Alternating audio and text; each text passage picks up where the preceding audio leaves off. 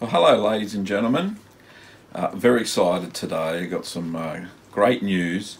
Uh, I'm going to pick up our first electric vehicle.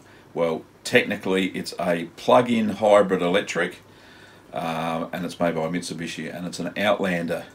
So, in a couple of hours, Kim and I are going to go to the city and uh, pick up the car. So, very excited. Um, but uh, yeah, we'll talk more about the car a little bit later.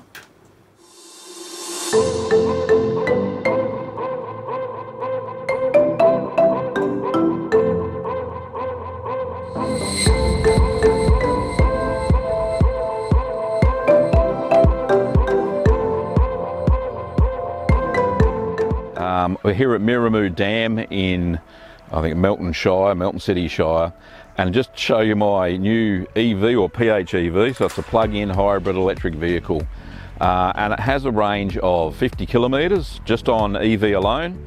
But it also has also has a small electric engine, uh, sorry, a small internal combustion engine that helps charge the battery if you want to go on a longer range.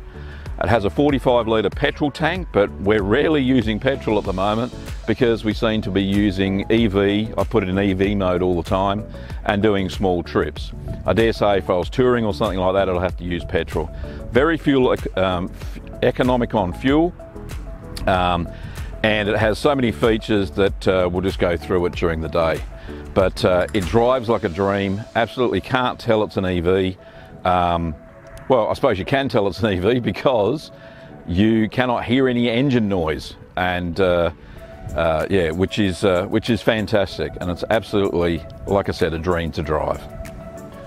So under the hood, you can see that we've got a an electric engine on the uh, on the right, and we've got an internal combustion engine. Uh, it's two litres, or yeah, it's two litre engine, and that charges the the electric engine. Now there's one here in the front and there's one in the back which I can't actually show you. Um, so as far as uh, services and stuff like that, doesn't need a heck of a lot because the uh, the petrol engine rarely gets used when I'm going uphill or going over 120 kilometres an hour or something like that. Anyway, it's fairly compact in here. Not much of an engine bay really when you look at it um, compared to uh, big gas guzzling cars. So we're currently parked and you can see there that in pure EV mode we've got 33 kilometres to run. And you can see there on the left there's the battery charge. So we're down a few bars there and we're just under a half a tank of uh, petrol. Now when we got it yesterday from the service centre um, there wasn't very much petrol in it anyway. I was just over half. Um, so we've done a few clicks probably about 200 already which is really good um, but the combined total of electric and petrol, I think it says 244 kilometres. So you get an economy meter on the uh, on the left, and then you've just got uh, you got the speedo on the right.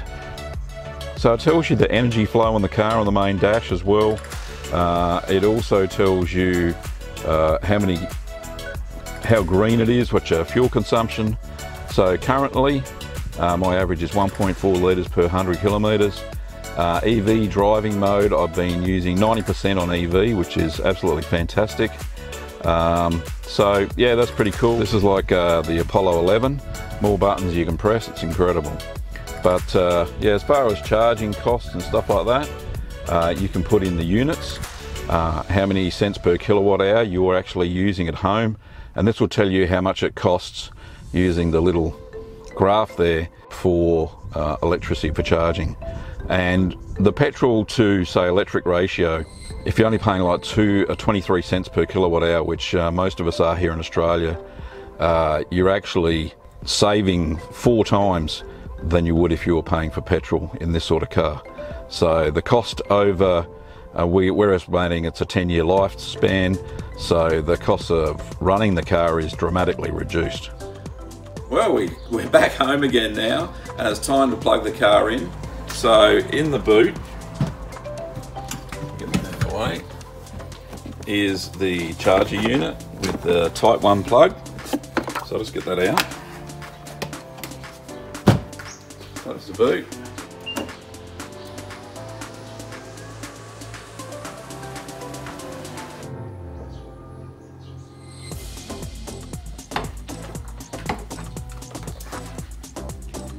And here's the charging port. The car. Now I can't plug it in yet because I haven't plugged in the, um, the charging unit down there, but I'll just show you. So you don't push anything, push it into it clicks. And that's it. It's not charging at the moment, so I'll just pull that out. Yeah, because I haven't got a long enough cable, I'll put extension lead on it.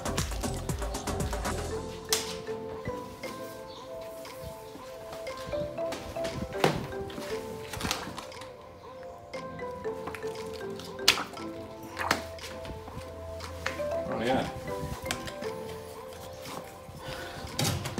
What, what are you looking at? Alright, cool. So just plug it in.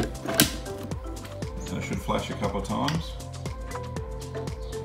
Let's just figure it out. There we go. So that means it's charging. And you can see on the little unit there, it says charge. That's it. And if I had my phone, which Kim's got in the holder, I can tell you how many hours it's going to take as well. But uh, I'll take a quick screenshot of that see. All right, that's it. And you leave it until you're ready to drive again. Simple as. Now the good thing about the um, plugging in here at home is that, I'm going to have a look at there, most of our electricity is generated by solar power. So that is the best thing that I, uh, I love about this EV is that it's renewable energy. That is what we are running the car on. And while you're here, check out some of the other videos that I've made. You can subscribe to the channel and click that little bell to get notified when I release these twice weekly vlog episodes. Thanks for watching everybody and we'll see you next time.